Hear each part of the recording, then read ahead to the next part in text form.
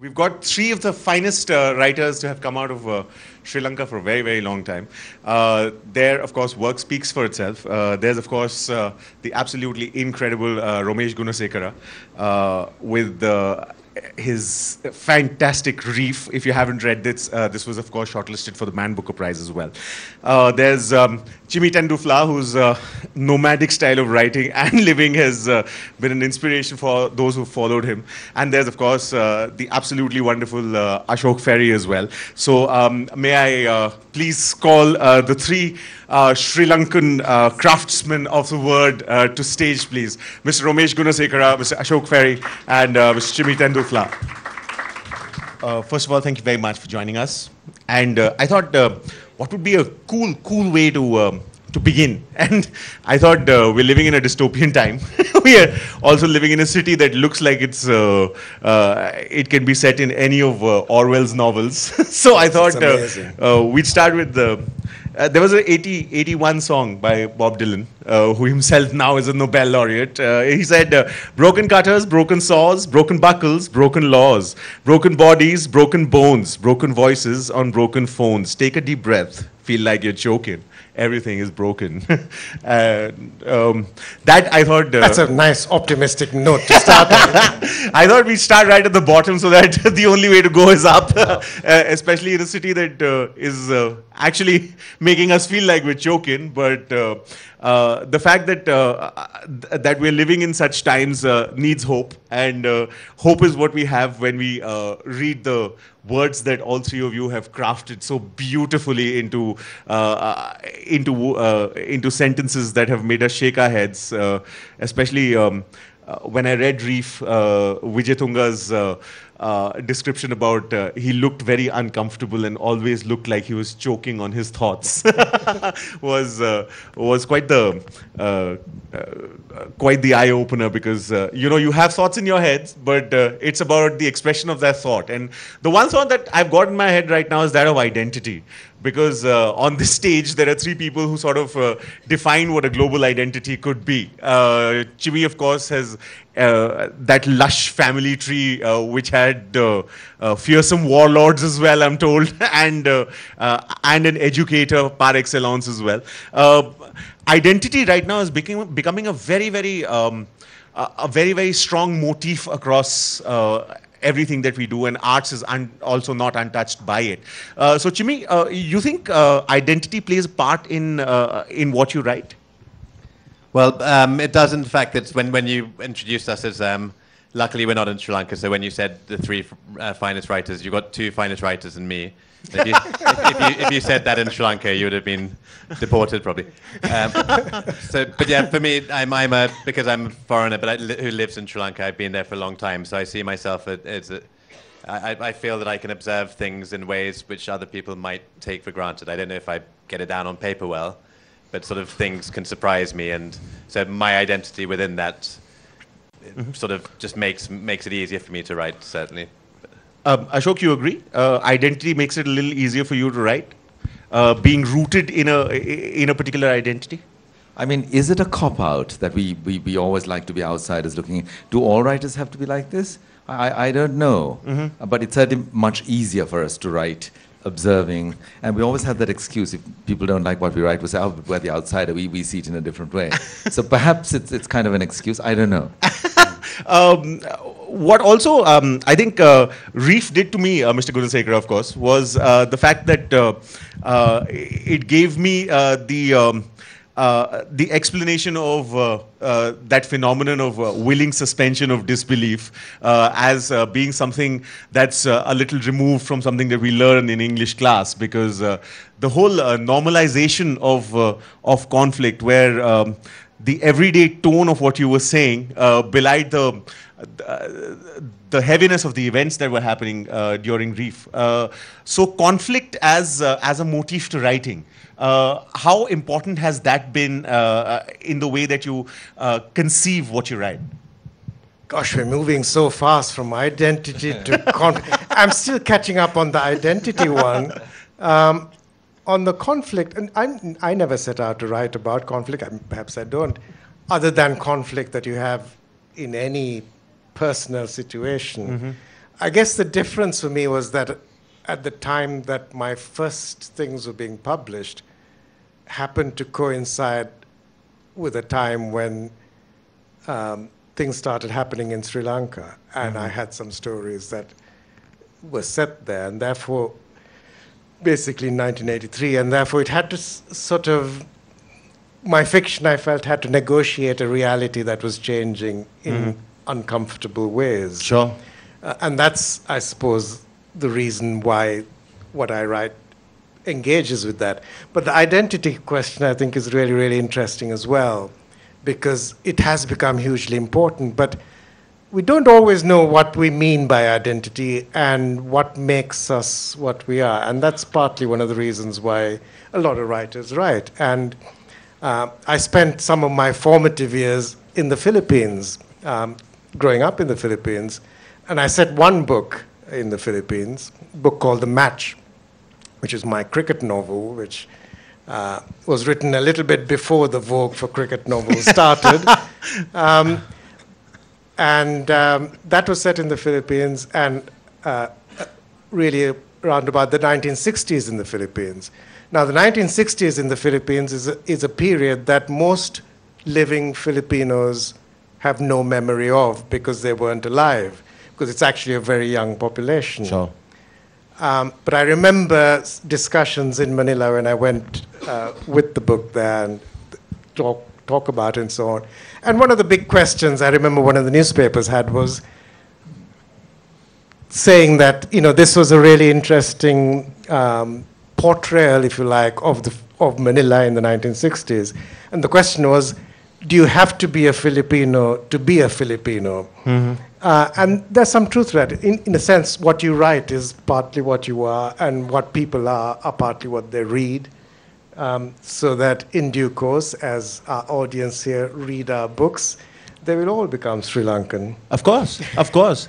Uh, which which is also a, a, a bit of a dichotomy in my head because uh, we become more globalized, but Yes. uh, uh, in a sense, uh, the world is also becoming uh, uh, more and more insular, where uh, uh, individual parochial identities, um, state definitions, uh, language barriers, etc., are being up, becoming uh, uh, more aggressive topics of discussion in that way. Um, h- h- as a writer, does that become a little difficult to deal with this dichotomy uh, towards the changing audiences? No, no, no. Please, please go ahead. I was I busy think switching my phone off. Ashok hasn't answered many, um, hasn't spoken much, Yeah. and also there's you used too many big words for me. Yeah, repeat the question again. The big words. Repeat the question again, The- please. the- repeat the question. Essentially, the fact that uh, everyone's saying that, oh, I belong to this country, but will read everything from every other place, but will still be very strongly uh, identifying uh, more and more with uh, with who they are in the geographical sense. Is what I'm asking. Does that does that in any way uh, affect the way you write or for who you write for, considering audiences are important? It's it's a great temptation to, a great temptation to let it affect you, but it mustn't. You you have to. Um, I was just thinking when you were talking earlier, Ramesh, about uh, the Philippines. Now I grew up in 1960s Somalia, Mogadishu, and we were just saying that Wow. that the Mogadishu I knew does not exist anymore. It was a beautiful place, very civilized, more sophisticated than the Colombo of the 1960s that I'd gone from. But yet, if I wrote that, nobody would believe me because the idea that people have of Mogadishu now is bombs and wrecks, wreckage, and Sure, etc. sure. So, so whose is the real reality? Your Philippines of the 1960s or the young Filipinos today?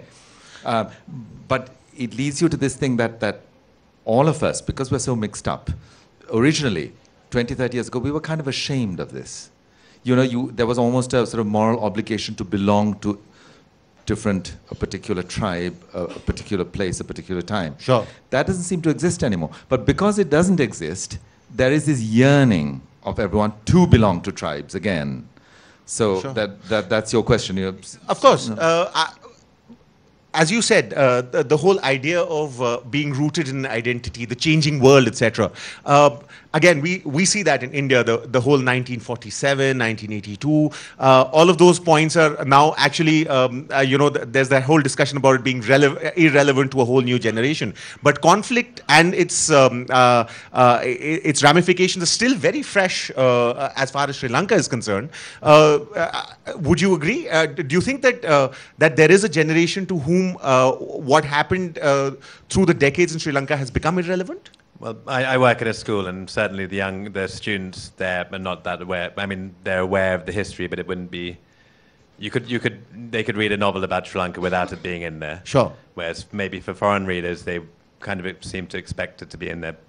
And I, I, don't- that's, that's my view. I'm not sure, but um, that I think, I think Because- Ashok was saying in one of Yeah. your books they were asking where the conflict was, and your Uh, also, I think, Mr. Gunesekera, you started writing uh, uh, when that conflict was actually, um, I think, uh, uh, in its um, uh, most virulent form, wasn't it? Uh, you'd begun to write uh, Monkfish Moon in 90, 91, 1991, I think. And uh, that was a time when, when Sri Lanka had actually hit the headlines with the kind of stuff that was happening. And now uh, th- there's a sea change.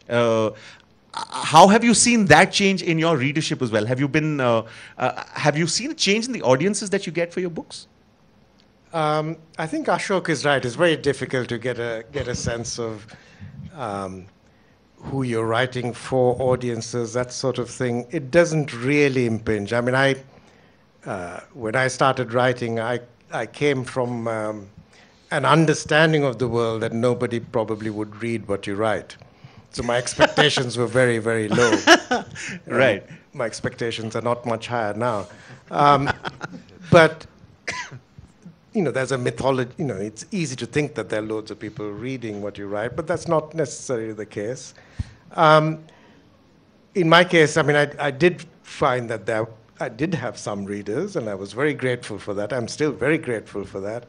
Um, but it's the involvement with, with reading is, is, is, is it's actually a, a very strange world we enter.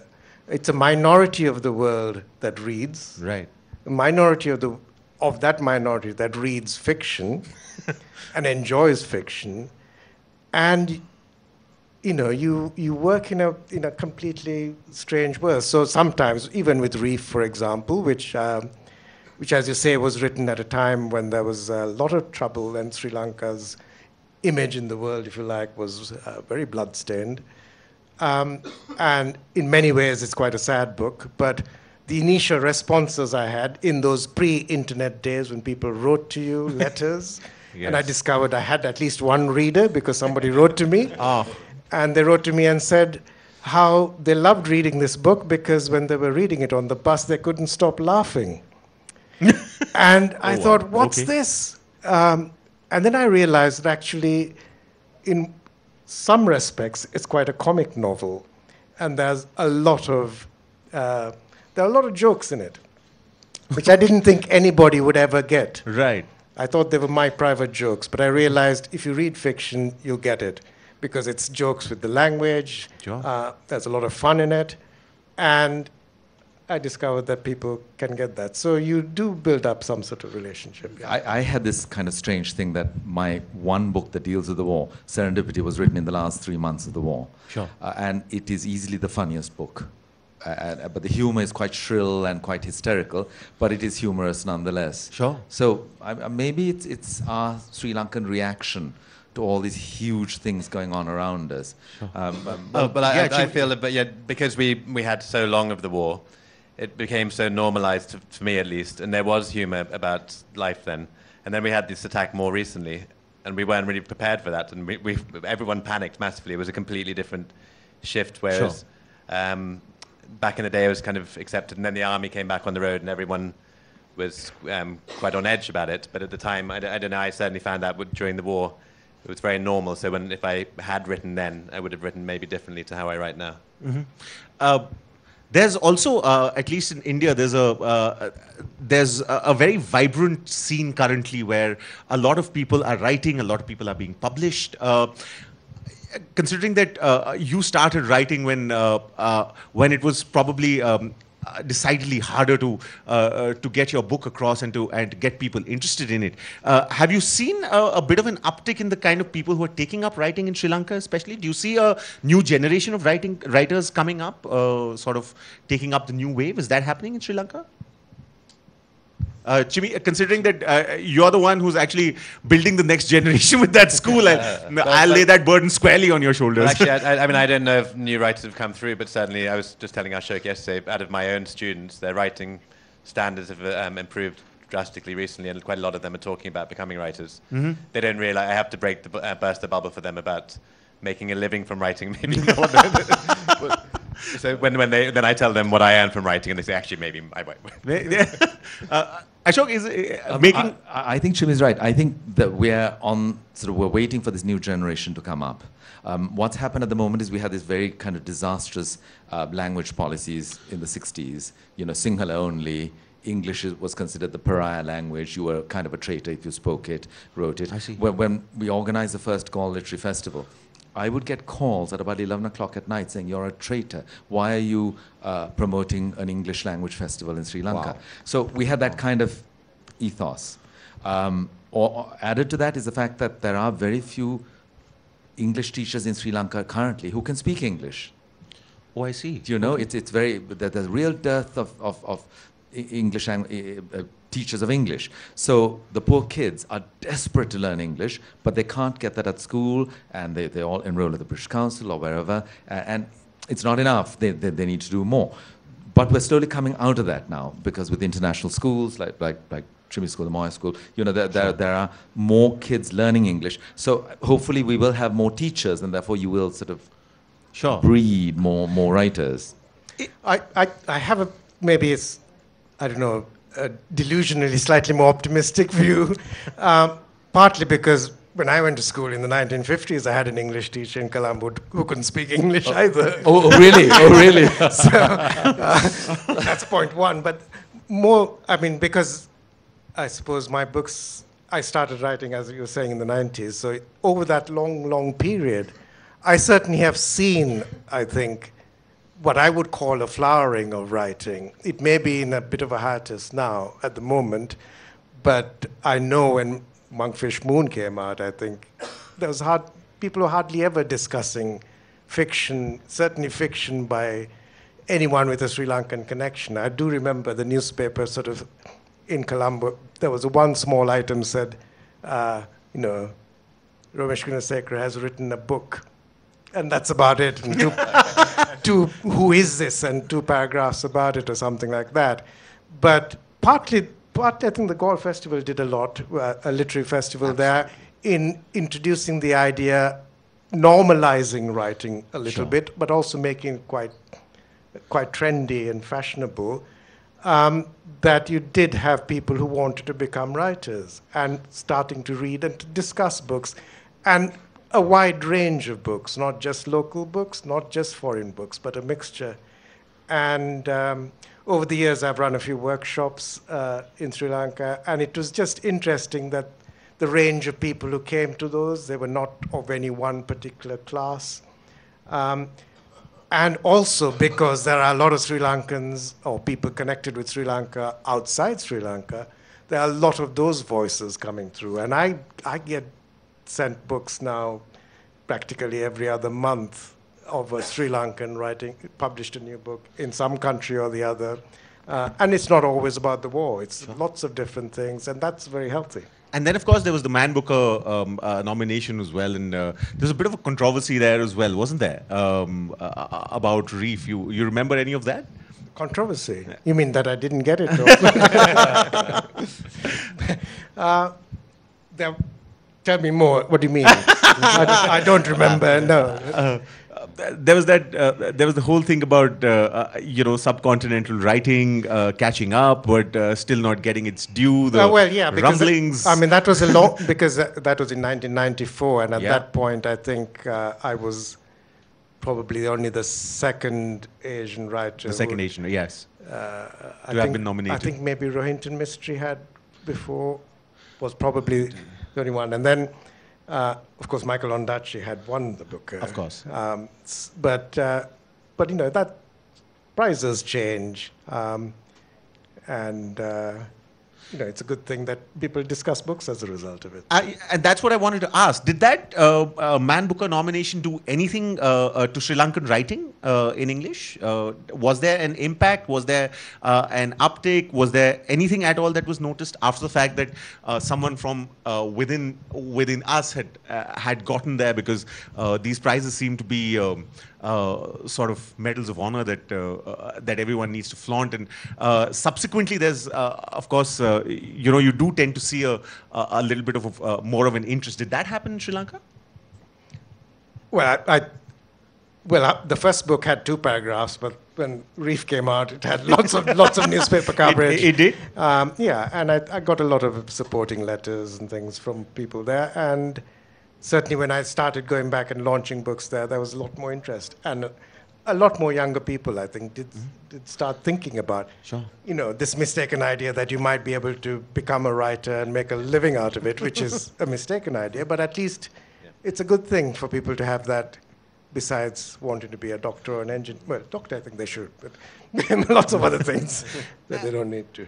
And as you said, uh, English, as far as its teaching is concerned, as far as its uh, uh, adoption in, in Sri Lanka is concerned, is a little bit of a fraught trop- a topic. But um, what about vernacular literature? Is, uh, do you think uh, we, because here we have uh, we've had vernacular superstars. There are people uh, in uh, writing in Bengali, writing in Tamil. Uh, do you have and, and considering Sri Lanka does have uh, two very strong languages, Sinhala and uh, and Tamil are are languages rooted in tradition and in beauty as well. Uh, are there uh, um, are there writers who are uh, uh, well known in in the vernacular space as well, Sri Lanka?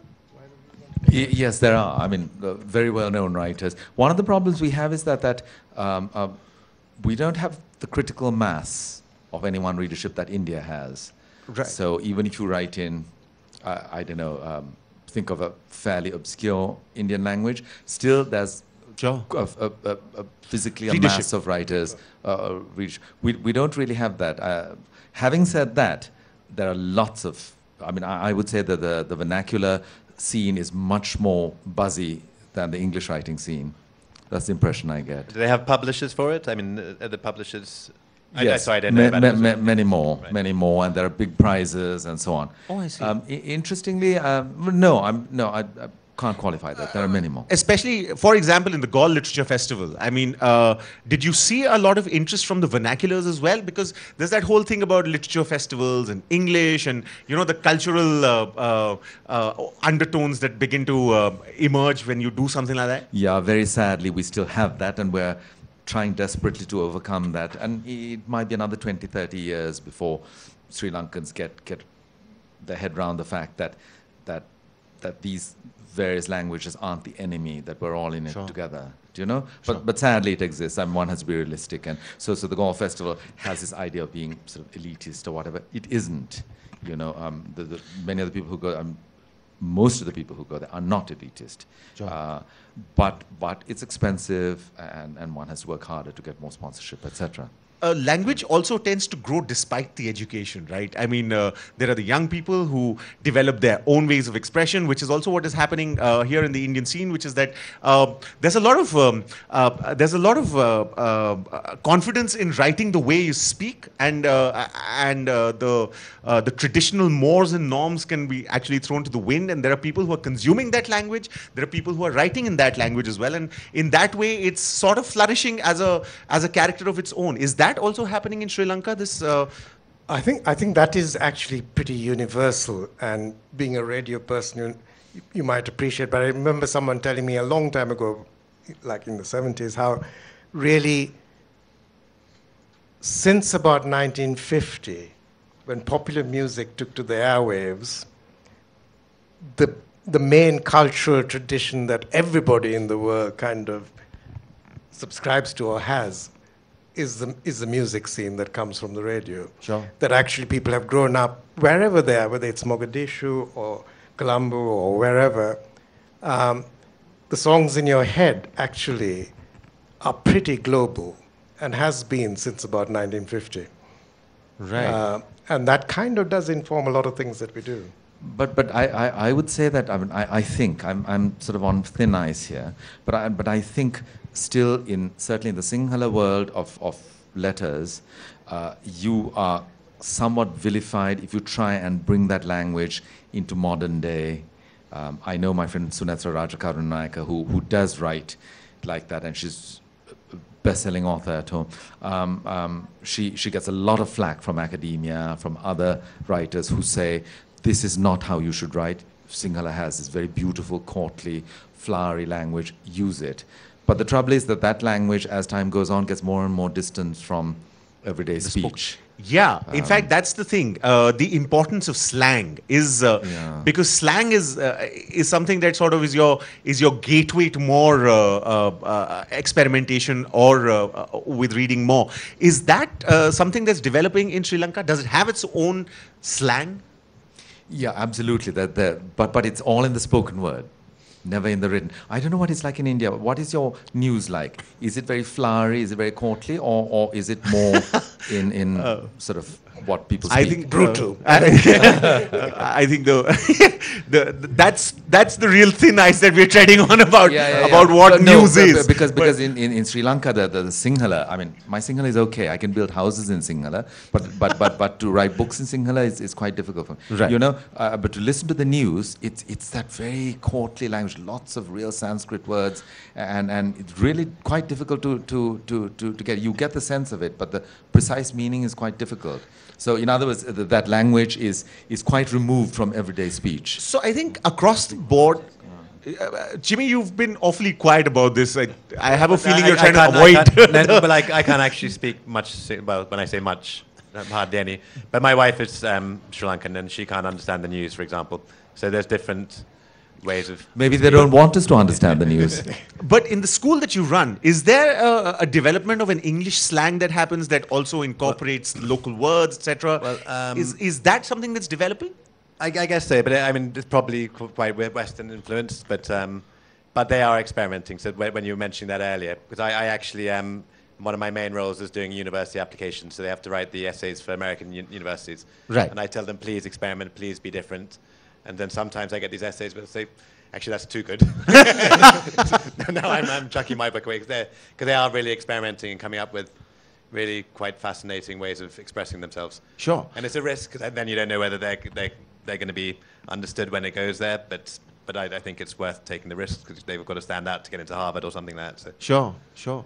Uh, there's also um, this thing about uh, you know the globalized aud- audiences that we were talking about earlier as well. There's also this uh, whole thing about the attention spans actually shrinking. Um, uh, the question marks about long form. Uh, has that uh, affected your writing in any way? Have you tried to adapt to that in any way? Both of you, of course, have have written short stories and collections Colpetty People, of course. Um, but Mr. Gunasekara, you've uh, your your form of expression uh, needs to breathe. Uh, Well, I- started with short stories. My first book was a collection Of of, stories. My last book was also a collection of stories. Um, but I do write novels. Um, do I cater to that? I mean, they're very, very short sentences, you know.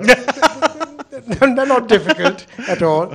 And in fact, this latest book uh, is set in the 60s when the language issue was the big political thing. And, you know, the, the main characters are two young boys, but their parents are grappling with the fact that the the official language is about to change, and uh, if you couldn't pass your exams, even if you were, you know, a 48-year-old civil servant, if you couldn't pass your new Sinhala exams, you'll be out of a job. Um, and it was serious, and lots of people were out of their jobs, and they had to sit their exams like your kids at school, basically, and they had to go to school. A lot of these older men uh, and women who were working had to go to school to learn their Sinhala enough to pass their exam. Um, so it, you know, it was a it was a big issue. But the long form, short form, well, I know it's often thought that young people have shorter attention spans. I'm not sure that's true at all. Um, I mean, you have obviously the obvious examples like Harry Potter. Massive books that these young kids were reading. Sure. Uh, or Philip Pullman's books, which are again very complex and Absolutely. very, very big. Um, and, you know, they get into those in a big way. They get into, you know, Game of Thrones and all this stuff, which is, they're complex narratives that take a lot of attention one way or the other. Sure. So I don't I don't go with the idea that attention spans are getting Sure. shorter. I think they might be getting longer. You've of course had to. Uh, I'm sure you get to interact with a lot of audiences um, across the world uh, uh, with your travels, etc.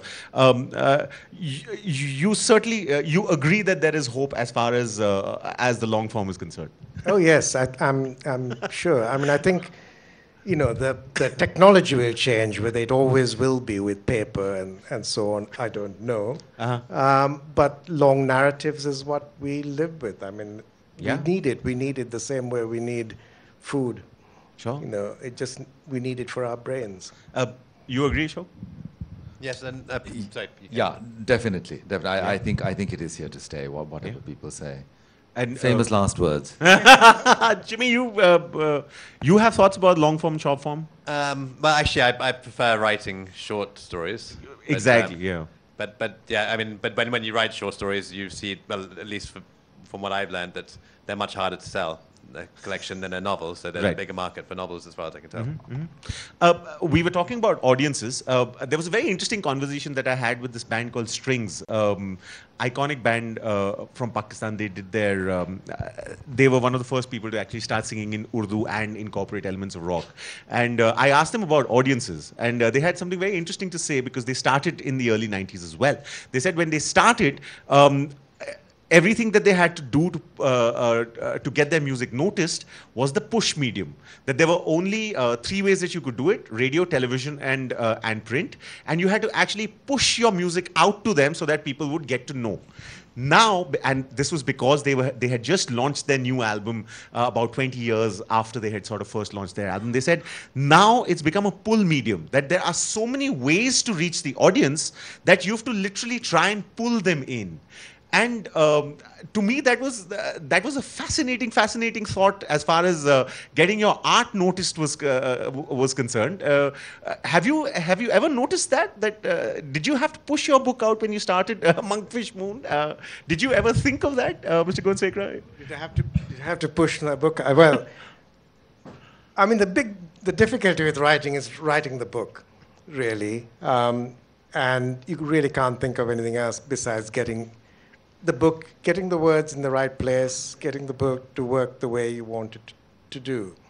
Uh, and as we were saying a little earlier, if you're a writer, unfortunately, you never know whether you've done it right or wrong.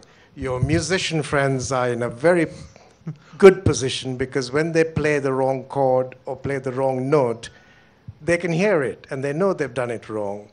Uh, when you're a writer, you can't tell. Um, you can't ever, ever tell. Um, so you just do your best and hope for the best, really.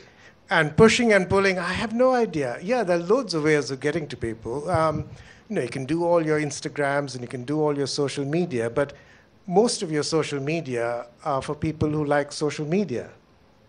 It Doesn't necessarily mean they're going to read a book. sure Um, so the people who are going to read the book, you know, I think we are very lucky because three of us here, for example, we can see people here. Um, at least some of you I know must be reading books. That's why you're here. Whereas, you know, a hundred years ago, if you're a writer, you hadn't, you know, you didn't have that chance. You wrote your book and you hoped for the best it. you didn't even hope for the best. I mean, you didn't know what happened.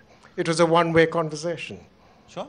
Um, Ashok, you f- do you ever feel the need to call attention to your um, uh, to your work a little more now than you did when you started? To, to, to, to what? To call, uh, to get people to know. Uh, Um, to, to know your work in a sense because um, you know there's just so much out there now Yeah, but but books are a real sort of solitary thing. It's you and your reader. It's a one-on-one thing. So if if you are unlucky enough that your book doesn't have resonance with many people, no amount of pushing is going to help. That's the thing. Sure. So you can have this huge media circus when a book comes out, for want of a better. I'm not trying to diss it because I think it, it, it- it's necessary, it's, It's- valuable, etc. absolutely. I- I- it's part of the For sure. part of the thing.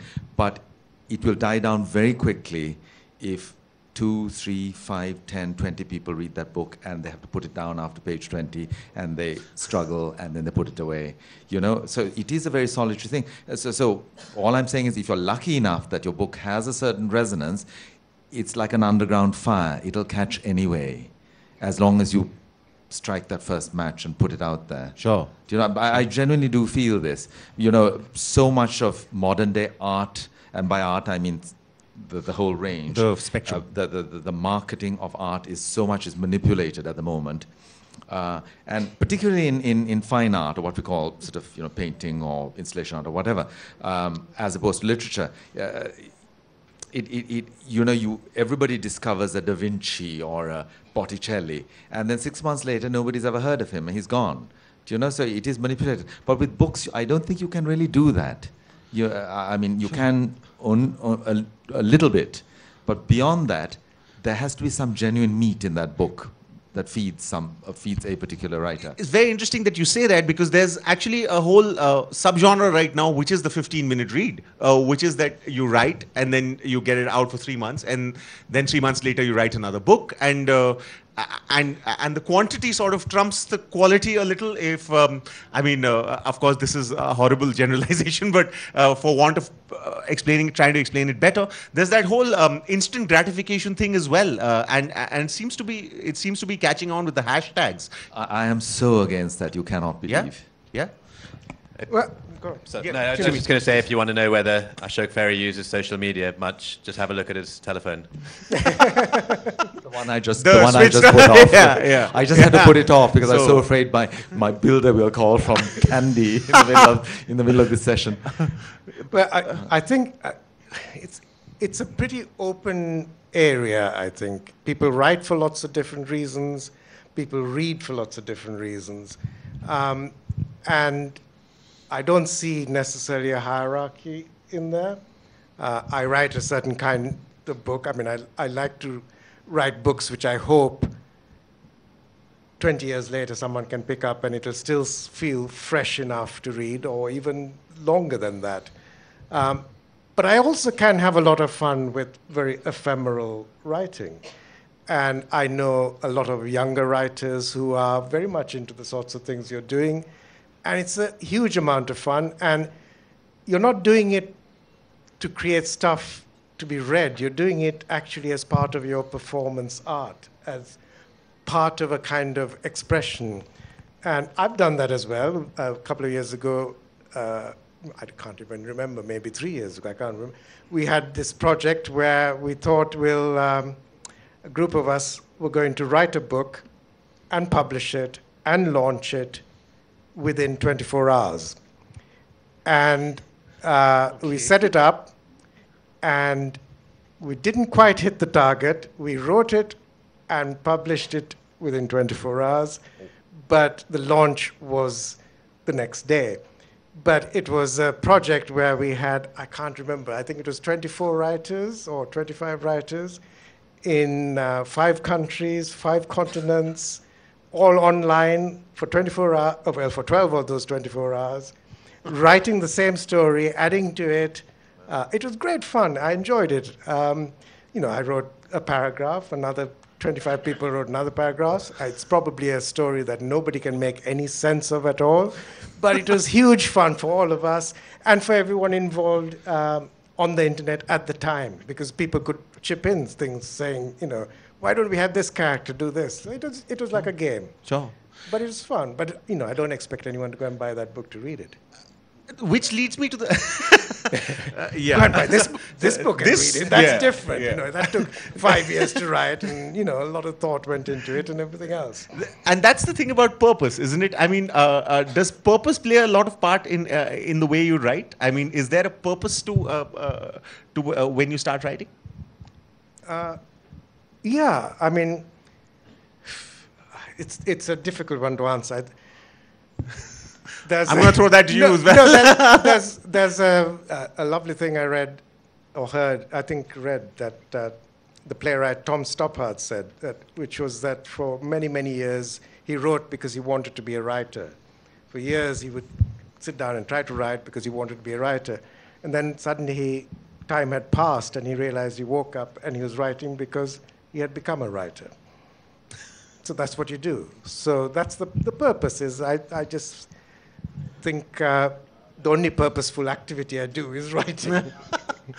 Um, Ashok, you seem to be thinking. Uh, Yeah, it's, it's a really difficult question. Um, but I, I I think you, in many ways, you mustn't have a purpose when you write, because it, it's it's if you take it to the parallel of building, you must always try and build a house from the inside out, not the outside in.